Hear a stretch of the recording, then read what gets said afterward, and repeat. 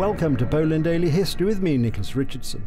In the previous episode, we started to discuss the life and ideas of Władysław Studnicki, a Polish publicist and politician who is famous for being one of the most outspoken proponents of an alliance between Poland and Nazi Germany before and during the Second World War.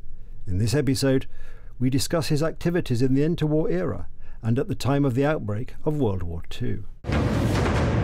He wrote a number of books uh, in uh, in the 1920s and 30s. So he was quite a uh, prolific uh, writer. Uh, one of them uh, delved into the political systems of Europe.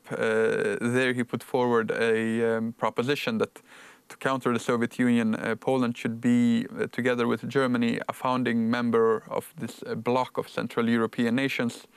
Uh, including uh, Poland, Germany, Austria, uh, Czechoslovakia, Hungary, Romania, even Greece and Yugoslavia. And he wrote that this block of 200 million people or so would be more than enough to be able to fight off the Soviet Union. Uh, and to uh, create some kind of um, superpower on, on the, in continental Europe. Um, leading up to uh, in, in the late 30s, once it became apparent that uh, war was brewing in Europe, uh, initially he uh, he supported Poland's um, decision to uh, send in, tr in, troops to uh, Czechoslovakia. Um, however, he opposed to um, Germany's treatment and continued occupation of the of entire Czechoslovakia. He thought that they could grab the Sudetenland and, and leave the rest alone. Uh, when they didn't, uh, then he wrote that uh, Germany's actions, they are creating um, uh, bad emotions in Poland and uh, making Polish-German relationships uh, worse than it should have been. then, of course, in April, um, the United Kingdom gave Poland um, a sense of security by issuing this communique that they would stand on Poland's side if there would be a conflict with, with Germany. Um, he thought that Studnicki argued that th this was a very bad idea. He, he, he wrote that um, when, uh, when one is preparing to go to war on two fronts, uh, he first takes out the weaker uh, opponent. And in this case, we are Germany's weaker opponent.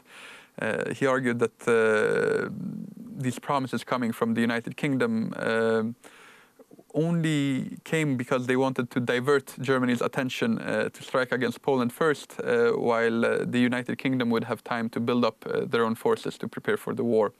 He also pointed out that um, the British claims that they had Poland's interests uh, at, at, at heart uh, were false, that since uh, in the 1920s and 30s, um, the United Kingdom had practically stayed out of this part of Europe. It was only France that was playing a diplomatical game here.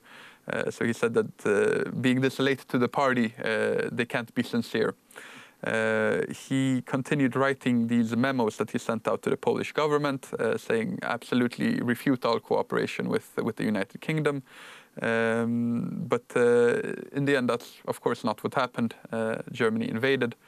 Uh, lamented that fact, but he continued to lobby for uh, closer relations between Poland and Germany anyhow. Uh, just a few weeks after the invasion, uh, he wrote a memo to the German leadership where he stated that a Polish government should be recreated in Poland, a Polish army should be recreated, and uh, Poland and Germany should together uh, invade the Soviet Union. Uh, the Polish army would be responsible for taking the territories more or less up to Kiev and, and Minsk, uh, and they would stay behind while uh, the G German troops would march further down to the Caucasus and further east, while the Poles would be busy with uh, administrating and um, keeping a safe, uh, that German lo logistics uh, and supply lines could, could continue through this area of, of Western Ukraine unhindered.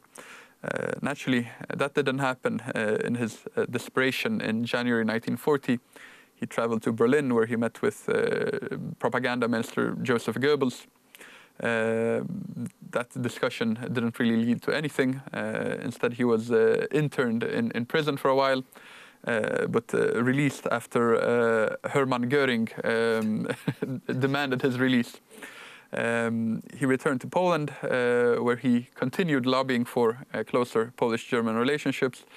Uh, in his defense, it has to be said that he did um, write against uh, the way that the Germans treated the civilian population in Poland, and he said that uh, you're making my job much harder than it should be by the way you're acting here.